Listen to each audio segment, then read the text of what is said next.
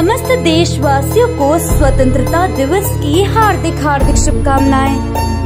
सौजन्य से श्रीमती फूतला बाई दुर्गा प्रसाद सरपंच, श्री धर्मेंद्र सिंह सचिव, ग्राम कमलिया, जनपद पंचायत शुजालपुर जिला शाहजहापुर मध्य प्रदेश।